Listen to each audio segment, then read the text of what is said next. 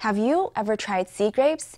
This edible algae is so delicious. It's also known as vegetarian caviar.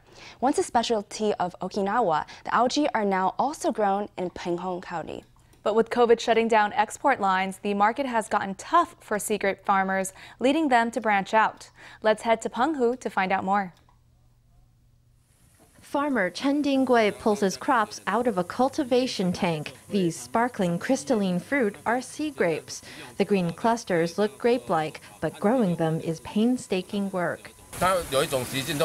One thing it does is that when it reaches its peak, it starts to detach. You have to make it reattach. It's at its best from 45 to 60 days. Over 60 days, it starts to disappear. Sea grapes are a kind of green algae. Its distinctive texture earned it the name vegetarian caviar. Okinawa was once the only spot where you could eat farm grown sea grapes.